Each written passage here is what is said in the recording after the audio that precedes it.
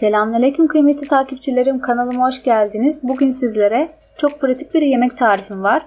Malzemeleri doğrayıp karıştırıp fırına vereceğiz. Çok bereketli ve çok da lezzetli. 5 adet patatesin kabuklarını soyup nişastanın çıkması için su dolu bir kaseye koydum. Şimdi patatesleri küçük küçük doğruyorum.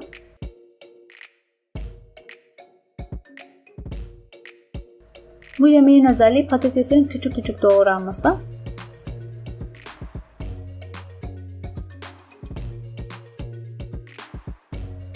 4 tane domates kullanacağım ve domatesin kabuklarını soydum ve şimdi küçük küçük doğruyorum.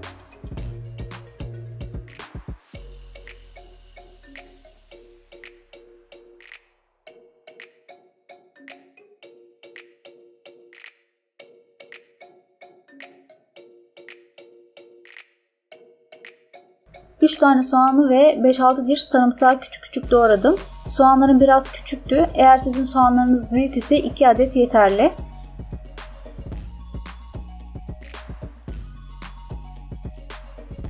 Küçük küçük biber doğradım.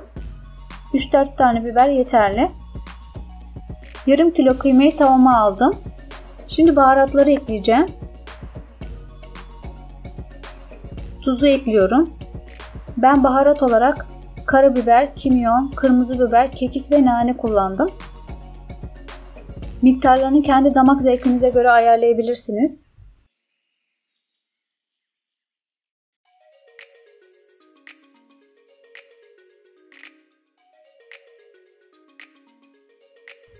Bir çay bardağı zeytinyağı döküyorum.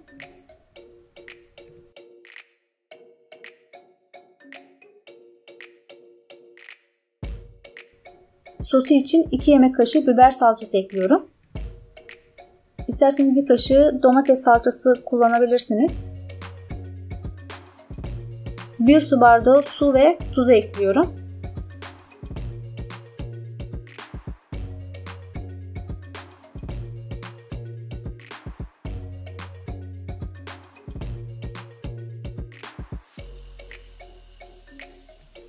Sizler sosu ayrı bir kapta karıştırmak yerine direkt diğer malzemelerin üzerine de ekleyebilirsiniz. Şimdi bütün malzemeleri iyice karıştıracağım.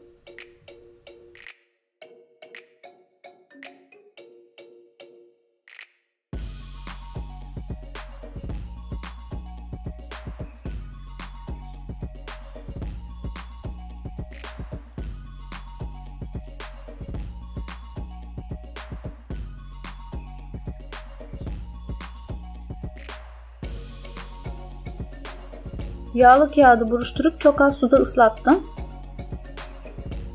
Yemeğimiz fırına girmeye hazır. Malzemeleri doğrayıp karıştırdık. Şimdi de fırına göndereceğiz. Önceden ısıttığım 200 derecelik fırında 40 dakikada pişireceğim.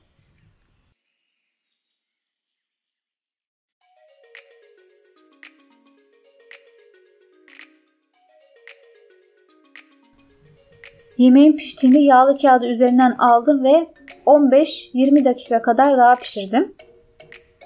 Evet yemeğimiz gerçekten harika görünüyor ve nefis kokuyor.